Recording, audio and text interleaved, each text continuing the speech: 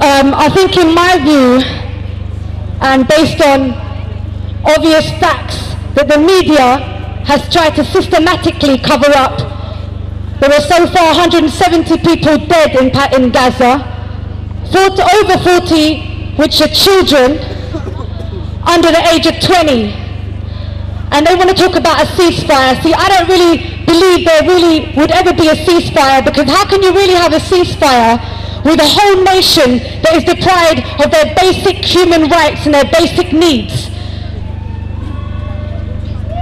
See, it's funny because like, I actually saw a few people quoting Obama saying, what nation on earth would allow rockets being fired on them or at it?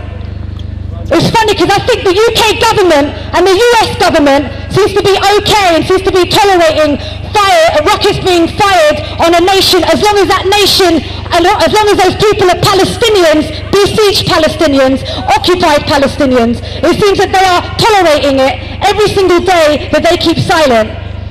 And I just find it strange how they want to talk about peace when we got, we got racist, indirect racist columnists like Leon De Winter stating the other day, suggesting that the water in Gaza should be sterilized with birth control tablets.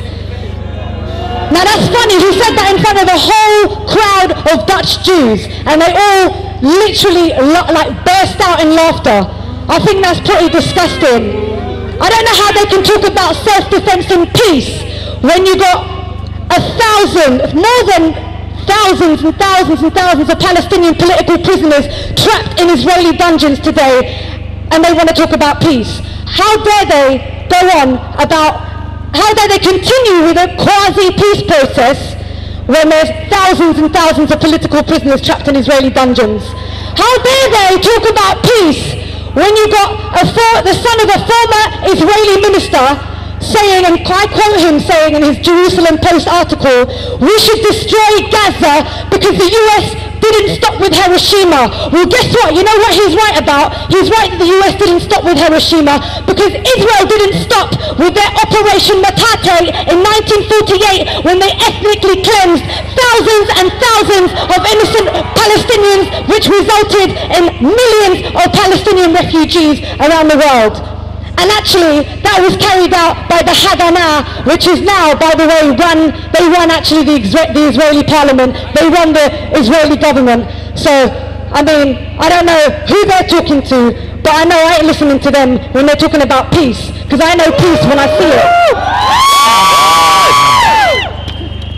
It's funny because I keep hearing this, this phrase from like far-right um, sympathizers to Israel saying, we're fighting a war against, we're fighting a war against these people that want to push Jews into the river. You see, they can keep telling themselves that, because I ain't never seen it until today. They want to keep telling themselves that Palestinians want to push Jews into the river, but what I want to know is what are we going to do to stop them pushing Palestinians into the Jordan River? That's all I want to know, because that's what seems to be happening today with the Israeli settlements. And to be honest, their peace process is really what's keeping Palestinians in Israeli jails. It's really what is keeping settlements expanding. It's what's keeping the increasing numbers of Palestinian refugees. Free, free Palestine! Free, free! Palestine!